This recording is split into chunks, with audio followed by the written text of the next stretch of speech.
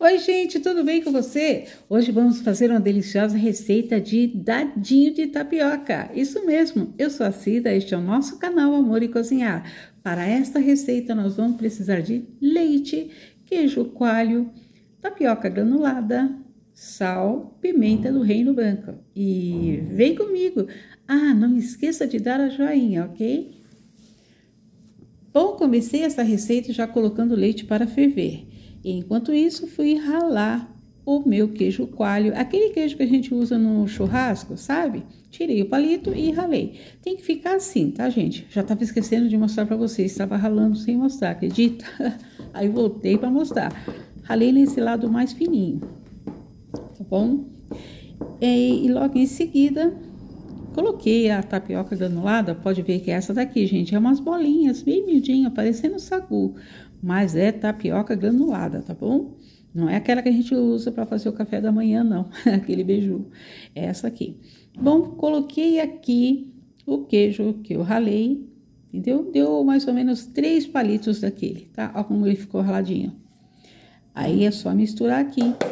Importante que aqui seja feito bem misturadinho, tá? Bem misturadinho. Aproveite me conte da onde você está me assistindo. Quero saber até onde esse vídeo está alcançando. Minha amiga, meu amigo, aproveita para dar um joinha, compartilhar, dizer aqui para mim o que você está achando da minha receita. Você pode me dar sugestões de receita, eu vou adorar falar com você, tá bom? Sempre que posso, estou entrando aqui no canal, estou falando com vocês, respondendo, tá bom? Muito obrigado para você que já é inscrito e que está aqui no meu canal sempre comigo. Opa, peraí que acho que eu esqueci algo. Aham, esqueci não, tá aqui. Pimenta do reino, aqui tem quase meia colherinha. Sal, sal a gosto, tá bom? Pimenta do reino branca. Se você quer colocar uma outra pimenta aí que você está acostumado, pode fazer, mas essa é a receita original. Eu fiquei sabendo que o rapaz que fez essa receita aqui, gente, isso aqui foi um erro. Ele ia fazer um bolo, esqueceu a receita, a forma aí no balcão. Ó, tem que ficar assim. Logo em seguida eu coloquei o leite quente para hidratando, tá bom?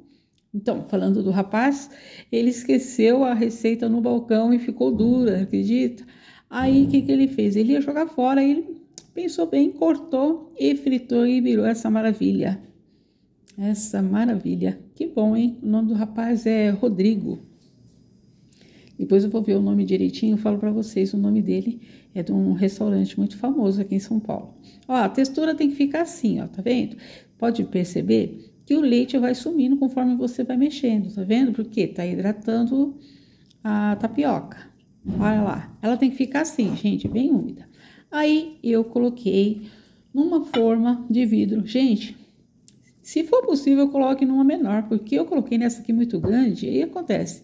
Ela não deve ficar muito fina, ela tem que ficar num quadradinho mais ou menos de uns dois dedos, né? E aqui eu achei que não ficou da altura que eu queria, eu deveria ter colocado em um, um recipiente menor. Pode ser até uma Tupperware, se você tiver aí, porque vai para a geladeira, não vai para o forno, né? Então, importante que você deixe bem certinho, para na hora de cortar ficar bonitinho, certo? Vamos lá, levei para a geladeira, ficou quatro horas na geladeira e vim, olha só. Aí eu coloquei um plástico em cima, gente, para não ficar muito seco, sabe? Ficou assim, desse jeitinho aqui, e levei para a geladeira. Logo em seguida, ó, já tava durinho, ela fica bem durinha, aí já fui cortar. Quatro horas depois, levei para mesa, cortei, olha como ficaram os quadradinhos, tá vendo? Ó.